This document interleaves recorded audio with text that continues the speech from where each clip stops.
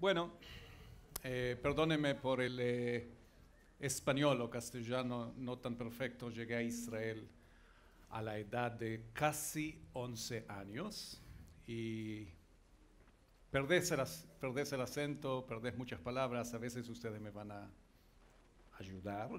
Ustedes son líderes, entonces están eh, acostumbrados a ayudar a la gente. Creo que ser un líder es algo muy personal y quiero contarles una pequeña historia sobre mi vida. Llegué a Israel solo a la edad de casi 11 años. Eh, mi papá y mamá estaban en, había mucho antisemitismo en Argentina, había problemas, tenían problemas de vender la farmacia, me mandaron a un kibutz. Y en el kibutz donde cual llegué a la edad de casi 11 años, estaba solo y eh, todo iba bien. A los 12 años mi papá y mamá llegaron a Israel, a Haifa, y compraron una farmacia, pero como yo estaba muy contento en el kibutz, dijeron, te puedes quedar ahí si querés. Y yo quería quedarme en el kibutz.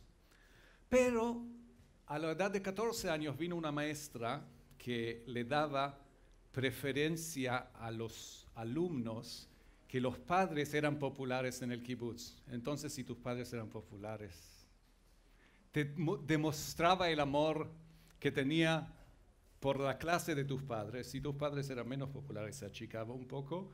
Y yo estaba por ahí, no tenía padres en el kibutz, entonces no era pop- popular con ella.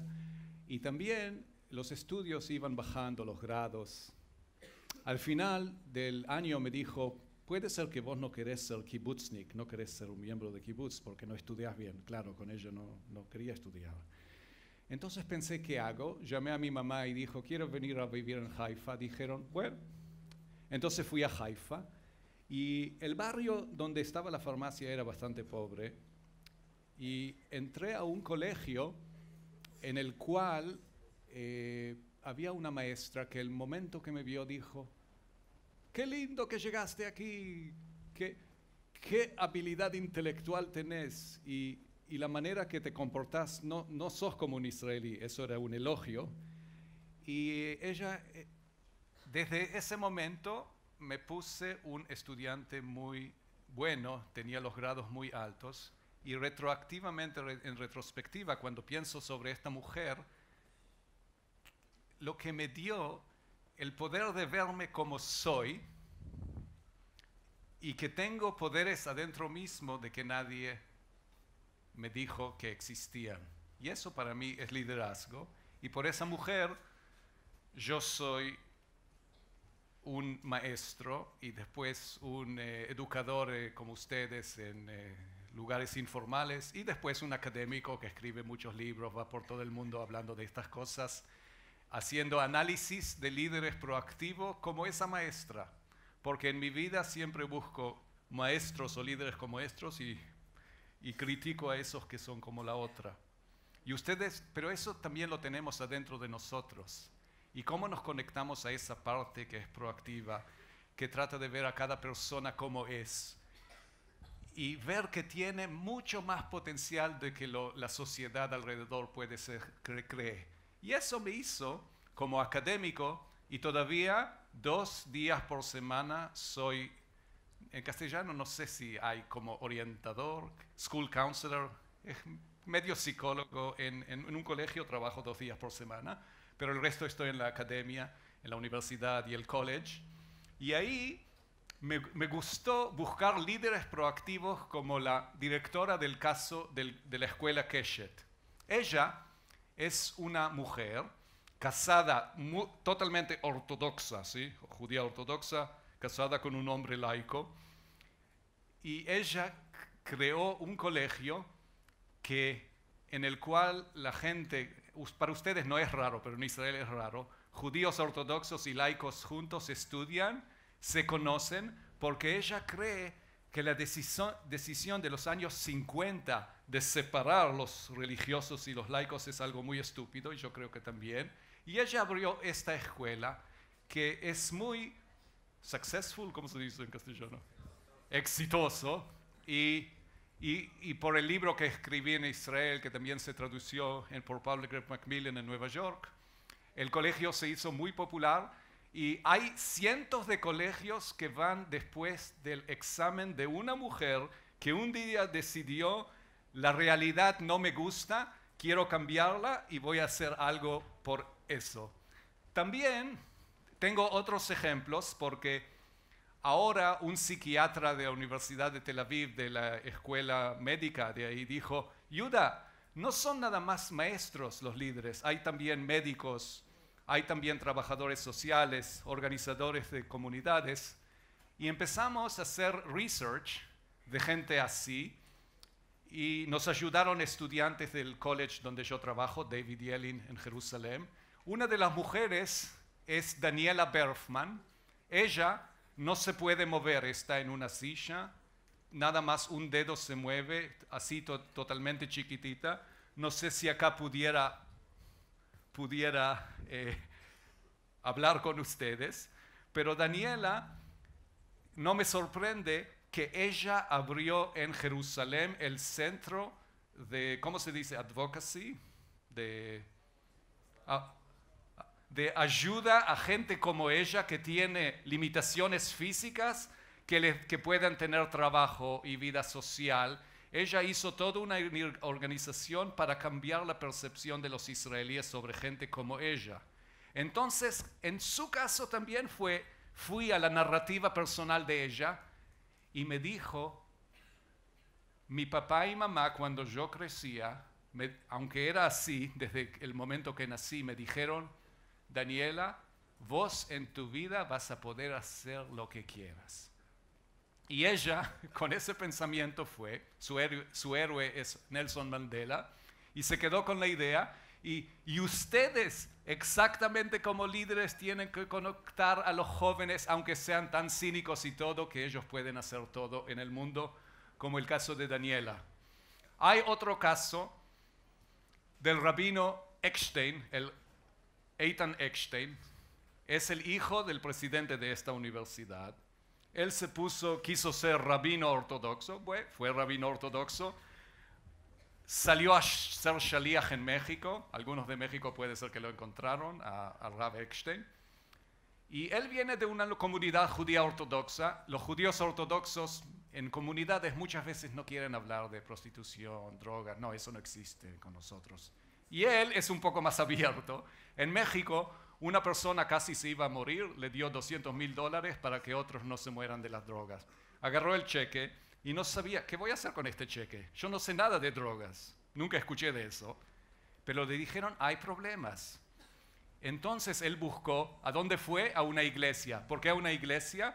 Porque hay un encuentro de narcóticos anónimos y ahí está sentado, pero ve que la gente está bien vestida, gente que parece más rica de que el común mexicano. Entonces le pregunta a uno, decime, ¿hay judíos aquí?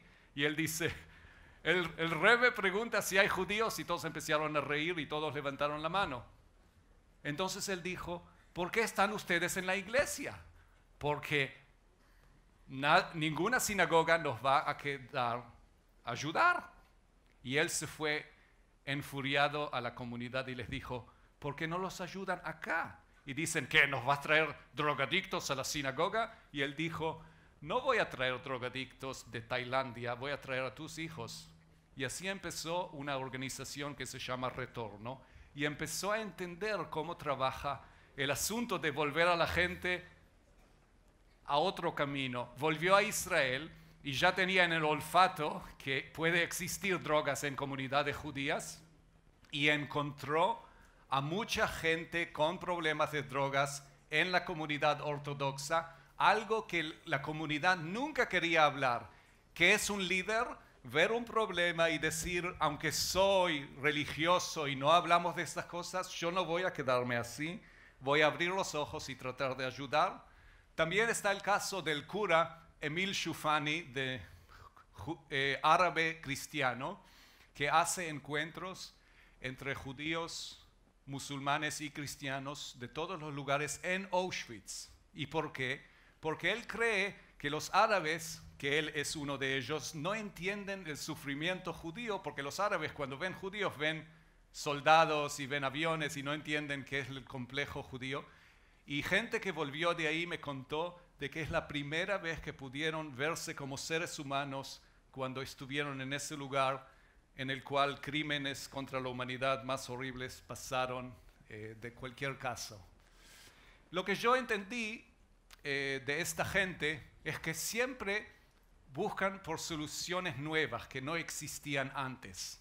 Entonces, ustedes, como dicen en inglés, you have to think out of the box, pensar afuera de la, la manera conforme. También son ambiciosos y persistentes, pero no ambición de tener guita, sino una ambición de cómo yo puedo cambiar el mundo. Tengo este cuerpo por 60, 80, 120 años. ¿Para qué ocupar espacio en este mundo, sino para hacer algo que cambie la sociedad? Y no tiene que ser que cambiar todo el mundo, puede ser como esa maestra que yo encontré en el colegio que cambió mi vida porque tenía la capacidad de verme. Eso es todo. Así sos un líder. Si tenés suerte como algunos de los que yo investigué y tener más afecto, bueno, nuevas ideas para el cambio en gran escala, eso sí, a veces logras tanto de que otra gente quiere hacer lo que haces. Encontrar lo que no funciona, el rabino Eckstein, no, esto no funciona. Mirar así a la realidad y decir, no, judíos no, no están en cocaína, no, eso no es una buena idea porque también tenemos esos problemas. Y cómo convencer a una sociedad entera a hacer pasos nuevos. Y eso, vuelvo al caso de Ruth y Leavi con el colegio Keshet, es el caso de que ella quería, no, volvamos a los años 50 a esa decisión estúpida de separar a religiosos y laicos y conectemos de vuelta gente que no está conectada. El asunto es también imaginar cosas que no existen, dejar a la imaginación volar y pensar cuál es mi visión que tanto quiero llegar. ¿Con quién puedo llegar a esa solución que nadie pensó y que nadie pensaba que era posible? ¿Cómo pienso en una manera que nadie pensó, pensó antes? Y para eso tenés que tener una imagen de un futuro al cual vos querés llegar. Y con eso quisiera hacer un pequeño ejercicio físicamente muy simple. Lo único que ustedes tienen que hacer es levantarse, pararse un segundo, eso es todo. Prometo que ustedes no se van a olvidar de esto lo van a usar toda la vida con otros grupos. Lo aprendí de un colega, no hablen, es muy importante que escuchen. Lo aprendí de un colega en México cuando fui a ayudar al VAD, a Jinuj y la Universidad Hebraica en año 2012. Ustedes, por favor, agarren la mano derecha, sin mover los pies, cuidado, no, empujar a la persona que está al lado, van a la derecha, a la derecha, a la derecha, a la derecha. Lo máximo que podés, mirad dónde llegó, qué estás, a dónde estás eh, mirando con el dedo, hace una imagen en la cabeza y volvé, y volvé, y volvé. Ahora no hagan nada, no hagan nada, confíen en mí, por favor.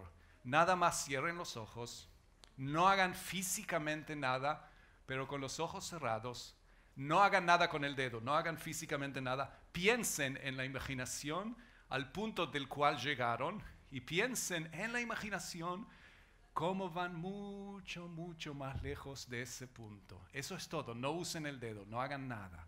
Pero en la imaginación lleguen ahí. Ahora abren los ojos, pongan el dedo y vayan al lugar a la cual la imaginación te llevó.